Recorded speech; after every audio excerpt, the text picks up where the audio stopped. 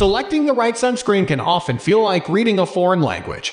You may have seen many sources suggesting the use of titanium dioxide or zinc oxide sunscreens.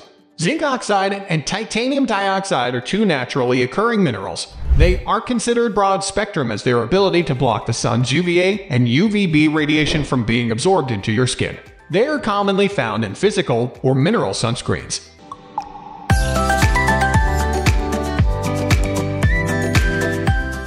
The definition of UV and UVB. Ultraviolet UV rays from the sun come in three different wavelengths, UVA, UVB, and UVC.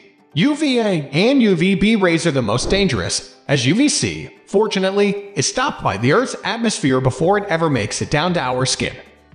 UVA rays, they deeply penetrate the skin, reaching far beyond the dermis, the skin's thickest layer. This type of UV radiation can cause aging and wrinkles.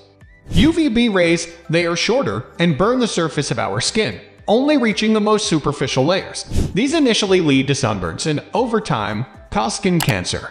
It's essential that you use a broad-spectrum sunscreen that provides protection against both UVA radiation and UVB radiation to protect your skin from both photo-aging and sun damage. In this case, zinc oxide and titanium oxide sunscreens are the best recommendation to prevent the damage.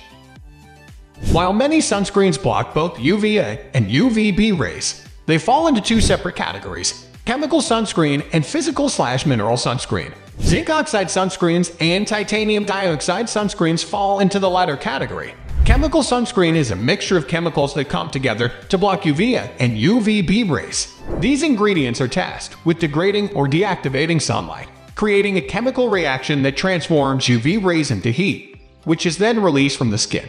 Physical sunscreen, on the other hand, is made of natural compounds that sit on the surface of the skin. They absorb and deflect sunlight so that UV radiation doesn't penetrate the epidermis. These ingredients act similarly to aluminum foil or mirror, keeping sunlight from penetrating deeply. Zinc oxide and titanium dioxide sunscreens fall into this category.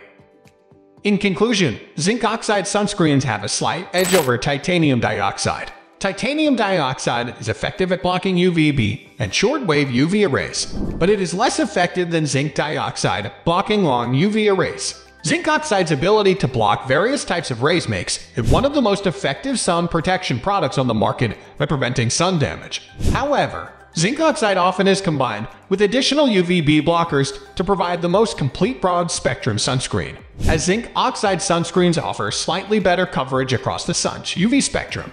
It is recommended to begin with this ingredient. We are going to end this video right away. If you have any query or information to share, please leave a comment below. Thanks for watching.